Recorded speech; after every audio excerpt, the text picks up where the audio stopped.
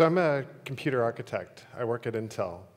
For the last 22 years of my life, I've spent architecting processors that everybody in this room has touched in one way or another. Two years ago, I started a research group at Intel with the th notion, can we create love? And what would that even mean? So for me, sci-fi was an interesting way to, uh, it was very influential when I was growing up. But I always saw sci fi as relationships, as love stories. They just happened to be going on someplace else.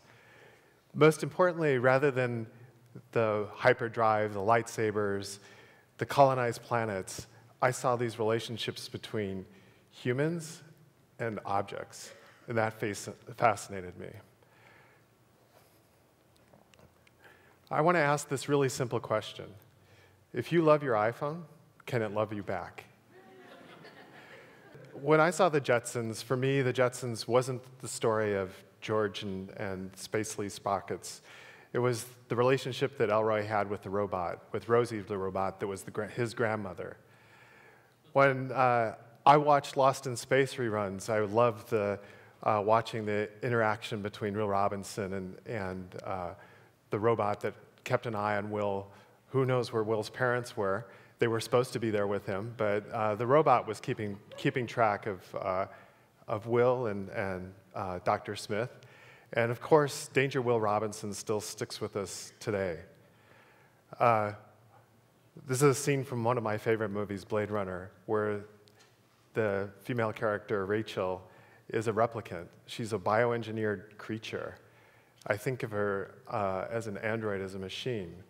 Deckard, the heroine hero, hero in this movie falls in love with Rachel. He knows that she's a machine.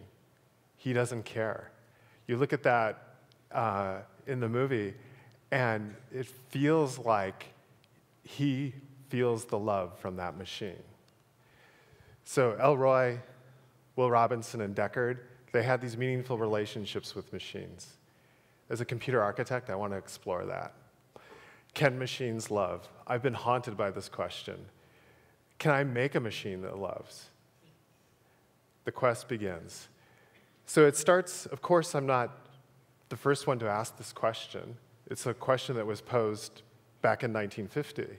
Alan Turing, uh, one of the best, brightest computer architects that ever lived, posed this question of, of human intelligence.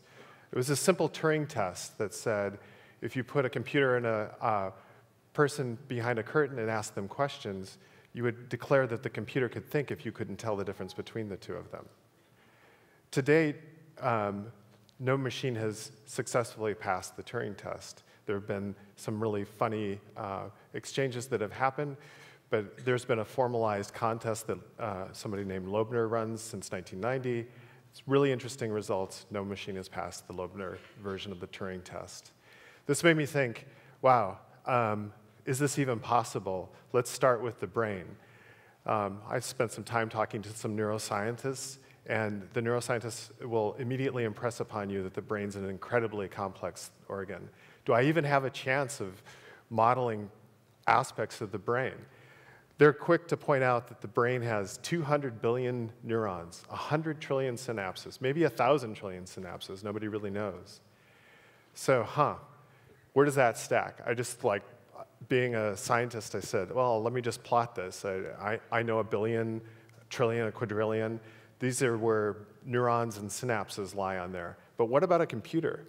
What is a computer? I know how many transistors are in a computer. Should we play a computer? Should we play this numbers game with uh, the brain? Well, yeah, why not? Um, so I, I know how many transistors are in the processors that we've been creating all of these years. I pulled out my phone and I asked a friend, I said, Do you know how many transistors are in your phone?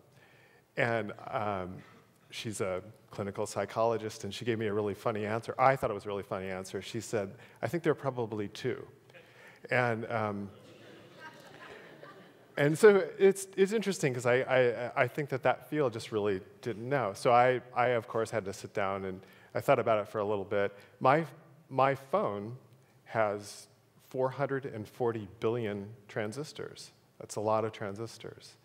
So I went back to this graph and I started uh, plotting this. You know, I plotted the, the processor, plotted a phone.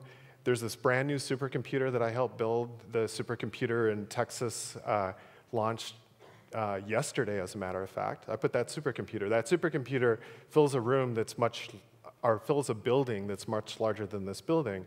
But interestingly enough, that supercomputer has over a quadrillion transistors in it. A lot of transistors. This is just a funny numbers game.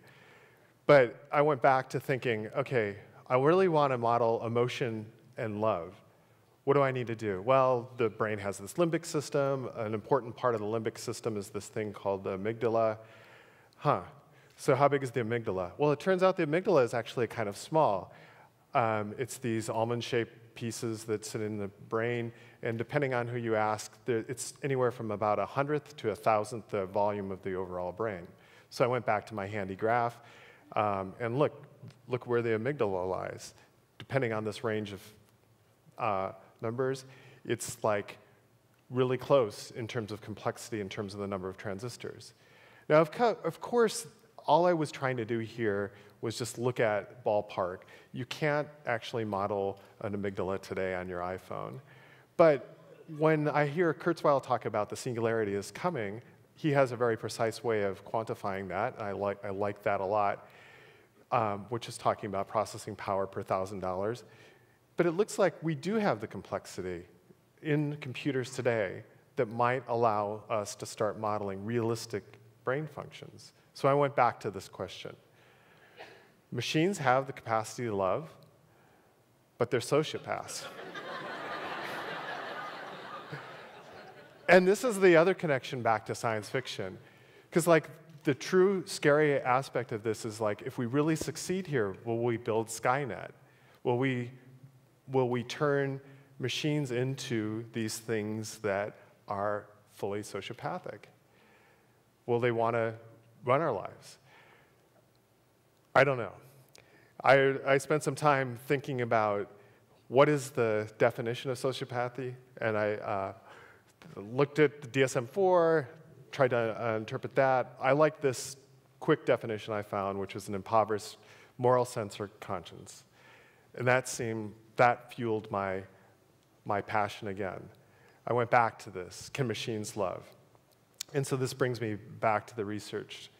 So I put a team together, and this team I formed two years ago has a clinical psychologist, a social psychologist, it has an artist, has a bunch of people. The emphasis is on people.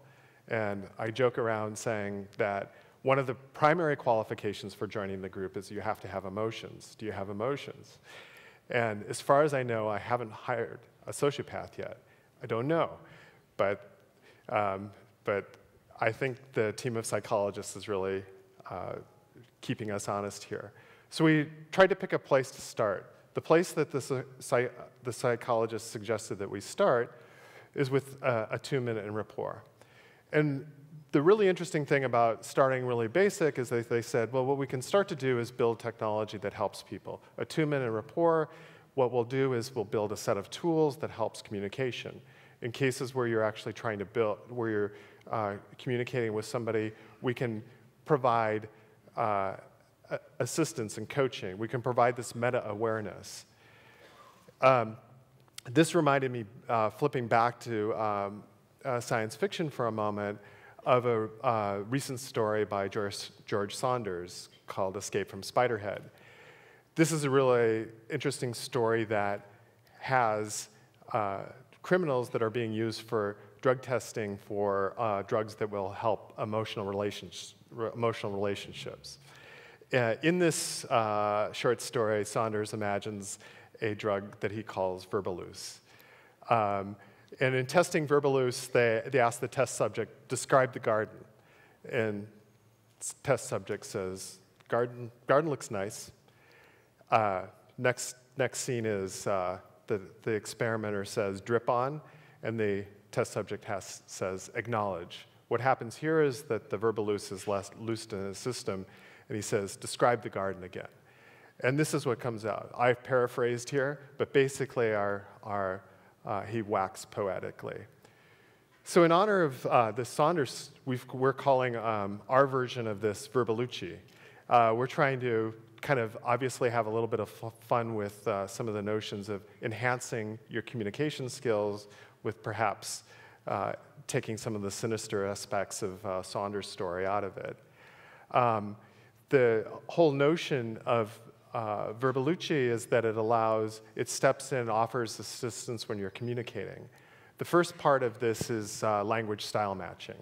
It's the simplest part of it. This is working quite well right now with uh, uh, email and instant messaging, and it uses some really basic uh, semantics. It takes uh, language, uh, looks at the emotion part of it, um, says is it positive or negative, and then also looks at the energy of, being, of what's being said or written and says is it high energy or low energy, and then creates a map out of that on, some, on this 2D version of, of uh, the mood that's just called the mood circumplex. We combine that with uh, pronoun usage. There's some really interesting work out of the University of Texas that says that you can determine a lot about the way that is in, intent from pronouns. Then the sheer number of words that are either being written or said. Um, you can see whether or not if you're responding very shortly, if you're responding to a long text or a long passage with a sh short number of words, uh, it could imply that you're, you're being terse or negative. And then lastly is in written communication, we look at the latency. The latency, if you send a note and you're getting uh, too fast a response, you may seem over, over eager. Likewise, if the responses are too low, are taking too long, that might be a sign of ignoring somebody. We're combining that with this uh, notion of relational databases. And here, this is a play on words. So obviously, uh, I'm considering this definition of relational databases a database that, can, that that contains all your relationships. This relational database grows with you over time as you get to know somebody better. Typically, the formality of the language uh, changes. The relational database tracks that, it grows, it evolves with your communication. The last aspect of it that I'm really excited about is that it comes from the psychologists of the theory of mind. The theory of mind says that as we wrap all of this around in the system, what we're trying to do is build a notion of the way that people that we believe people will respond to uh, communication. And this is the really exciting part. It allows us to do things that um, Helen Fisher would call adhere to the platinum rule. And Helen's rule I really like is rather than treat people the way you want to be treated, treat people the way that they want to be treated. Treat, I'm sorry, treat the person the way that they want to be treated rather than the way you want to be treated. Boy, Helen would be disappointed. Uh,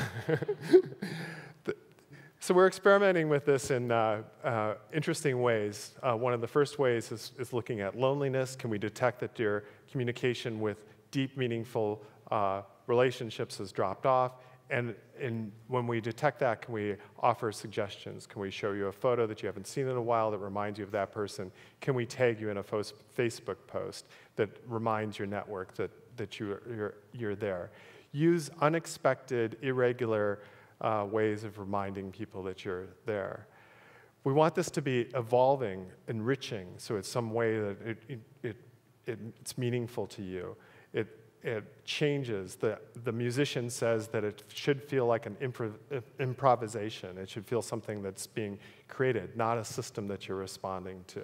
It should have the sense of aliveness. It, it feels like the machine is alive. I believe that machines will love, and I believe that my next best friend will be this pile of silicon. Thank you.